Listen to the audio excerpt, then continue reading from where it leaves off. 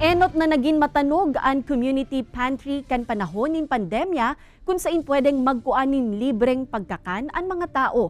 Alaga dawa tapos na ang pandemya, nagkondusir pa ang Penro Camarines Norte nin community pantry. Alagad imbes na pagkakan. Manlain-lain na seedlings ang pwedeng aprobitsaran kan publiko. Pigbugtak ini sa hampang mismo kan opisina kan Penro kung saan pwede digding magkua maski ang mga nagaaging motorista. Sa ibong kaini, nagpagirumduman ang penro sa publiko na atamanon. Ninmarhay ang mga seedlings na sa indang itinanom.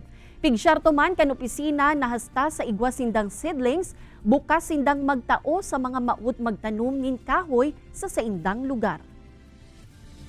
Pantry for Tree para po mahikayat uh, to encourage our uh, kababayans to plant trees. Ano po?